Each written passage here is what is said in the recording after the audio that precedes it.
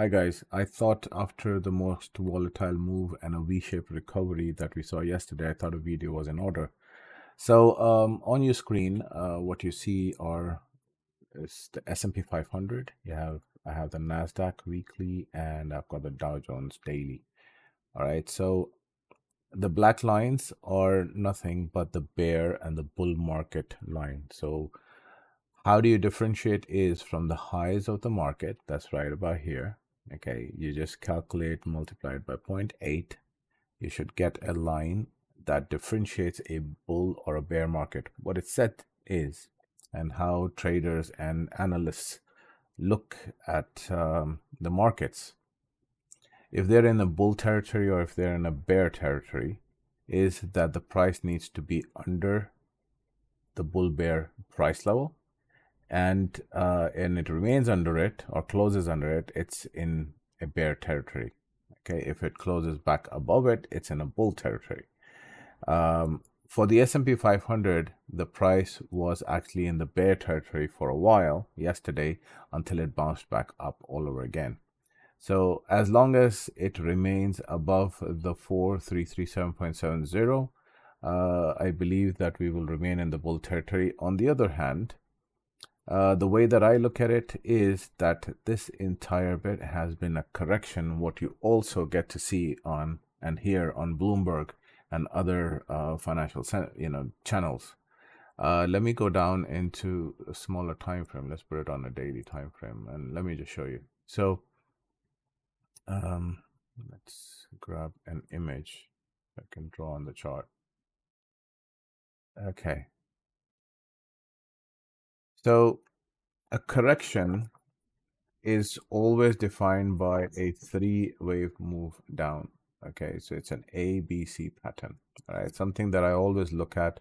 An ABC pattern is something that you can always use to get into a trade when the markets are rebounding or the markets are, um, let's say, moving the opposite way of the fundamentals. So if you see something like this here, okay, you have an ABC pattern. You have an ABC pattern. Okay. And these are also known as corrections. This thing is just a bit larger. Right about here is just a bit larger.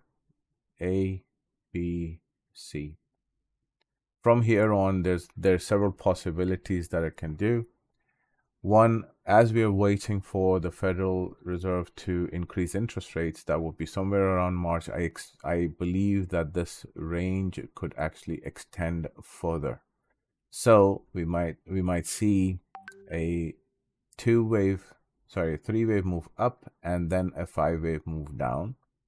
But it not necessarily has to be somewhere around here. It can actually go all the way back right on top and then go down five waves okay? Staying above the bull bear line okay? Staying in the bull territory. That's the idea. So uh, the plan is to keep the market long. Why? Because the economies are expanding. There is no reason right now for the economies to be um, saying that they are contracting. So we are looking for markets to be long remain long analysts uh, and traders are now coming online. And I, I heard several of them yesterday talk about that there is no reason for the markets to go short to this extent when the economies are expanding. And we do see that there is a slowdown but the markets have no reason to to uh, sell off this much from the highs. So uh, keep that in mind.